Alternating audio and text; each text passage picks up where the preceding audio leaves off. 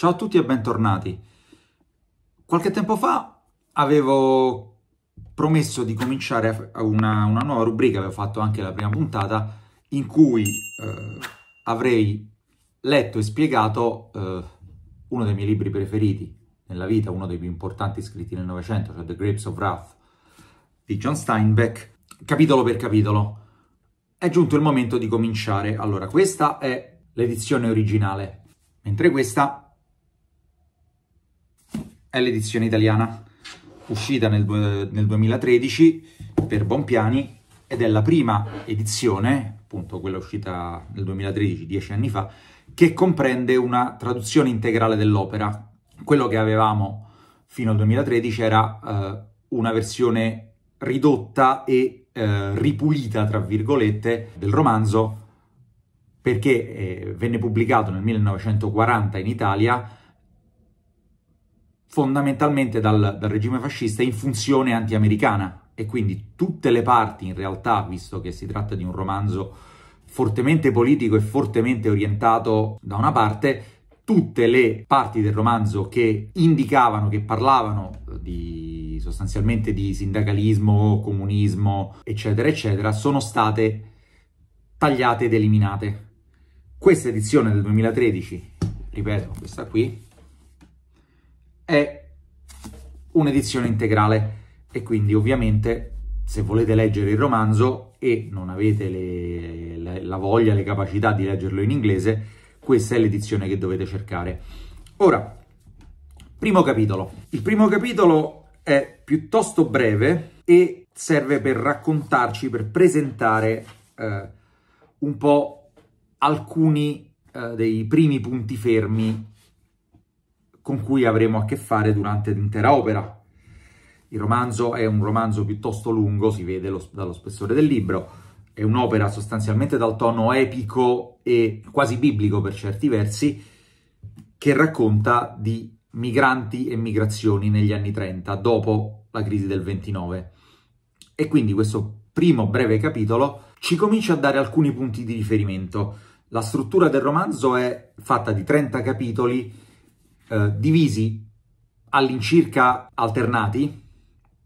Non è vero sempre, ci sono alcuni capitoli in cui in capitoli vicini, nel capitolo, eh, in un capitolo e nel capitolo successivo si continua a parlare dello stesso argomento, ma all'incirca eh, nei capitoli dispari, almeno all'inizio, viene raccontata una, eh, la storia generale della situazione, mentre nei capitoli pari si parla della famiglia Jode che è la famiglia protagonista della vicenda, è quella che poi sostanzialmente John Ford, la parte che sostanzialmente John Ford riprende quando eh, nel 40 gira il film tratto dal romanzo. Quindi questo primo capitolo in realtà è un racconto generale ed è un racconto molto breve che descrive sostanzialmente il fatto che i contadini, e la famiglia Jode è una famiglia di contadini, vivono in una situazione assolutamente precaria perché vivono su una terra consumata e eh, rovinata dalle, dall'agricoltura intensiva, in particolare da quella del, del, mais e del cotone. Il cotone in particolare è una pianta che devasta il terreno eh, su cui viene coltivata e se se ne fa un, una coltivazione intensiva è ovvio che il terreno si impoverisce molto rapidamente e diventa improduttivo molto, molto presto e quindi le famiglie di contadini già per questo hanno grosse difficoltà a sopravvivere sul loro terreno, a sopravvivere del proprio lavoro.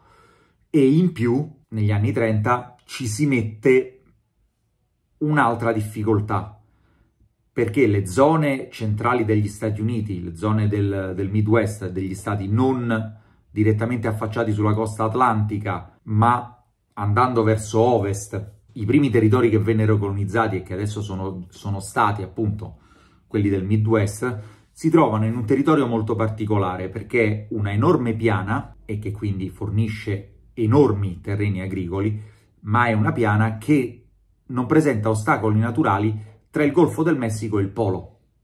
E quindi eh, le, corre le, correnti calde che vengono da sud, a volte, sempre più spesso a causa del, del cambiamento climatico, ma piuttosto spesso anche all'epoca, anche negli anni 30, le correnti eh, calde che venivano da sud si scontravano con le correnti fredde che venivano da nord e che arrivavano senza trovare ostacoli eh, naturali e questo creava uragani, trombe d'aria, eccetera, eccetera.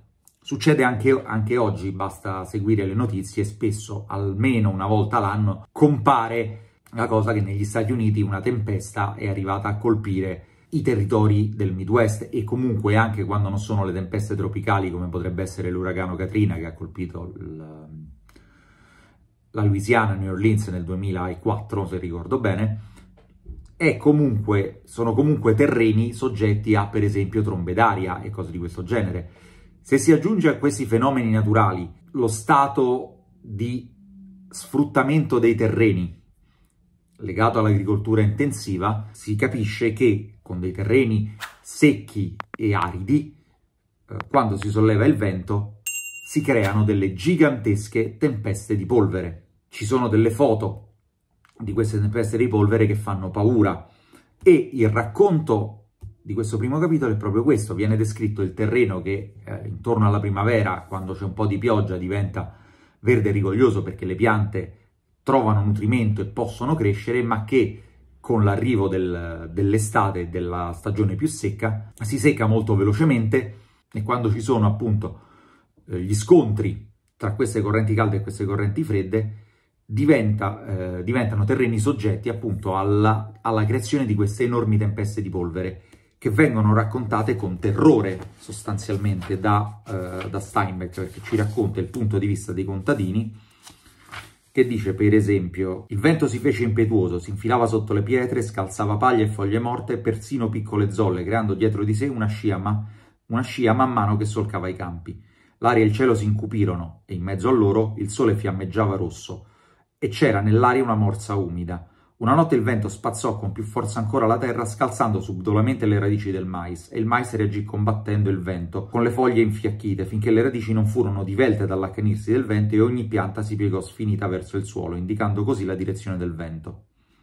Venne l'alba, ma senza giorno. Nel cielo grigio apparve un sole rosso, un, un fioco cerchio rosso che splendeva un po' di luce simile al crepuscolo, e con l'avanzare del giorno il crepuscolo ricadde verso il buio e il vento ululò sul mais abbattuto. I contadini stavano rintanati in casa e quando gli toccava uscire si annodavano un fazzoletto intorno al viso e indossavano occhiali protettivi per ripararsi dagli occhi. Quando si fece di nuovo sera fu buio pesto, poiché la luce delle stelle non riusciva a solcare la polvere per toccare terra e la luce delle finestre arrivava a stento fino all'aia. Ora la polvere era frammista all'aria in parti uguali, un'emulsione di polvere e aria. Ogni casa era chiusa e sbarrata, porte e finestre erano tappate con gli stracci ma la polvere si, si insinuava così impalpabile da essere invisibile in sospensione e si posava come polline sui tavoli e le sedie e sui piatti. I contadini se la spazzolavano dalle spalle. Piccole piste di polvere giacevano sulle soglie.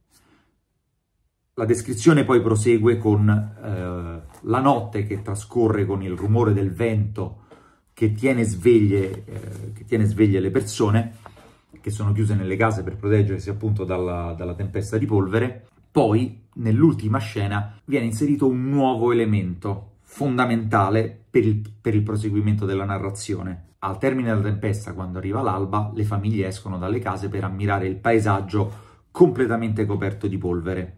E qui ci sono degli elementi importanti, perché le famiglie descritte da Steinbeck in, questa, in questo romanzo sono delle famiglie strettamente patriarcali, le decisioni le prendono sempre gli uomini, ma ci sono le donne che sono in realtà garanti dell'unità familiare. Gli uomini decidono e le donne si occupano di mantenere unita la famiglia e di fare in modo che le decisioni vengano messe in atto. Dopo un po' le facce attente degli uomini persero la loro stupefatta perplessità e si fecero dure, rabbiose e ostinate. Allora le donne capirono che erano saldi e che non sarebbero crollati. Allora chiesero, che facciamo? E gli uomini risposero, non lo so. Le donne capivano, capirono che andava tutto bene e i bambini capirono che andava tutto bene. Le donne e i bambini sapevano dentro di sé che non, es- che non esistevano disgrazie insormontabili se i loro mu- uomini rimane- rimanevano saldi. Le donne rientrarono in casa per sbrigare le faccende e i bambini si misero a giocare, dapprima con discrezione. Con il passare delle ore il sole si fece meno rosso, divampava sulla terra ricoperta di polvere. Gli uomini sedevano sulla soglia di casa, giocherellavano con pezzetti di legno e sassolini. Gli uomini sedevano immobili, pensando, interrogandosi. Questa è, questa è la fine del capitolo e ci dice una cosa fondamentale. Finché gli uomini hanno sotto controllo la situazione, le famiglie rimangono salde.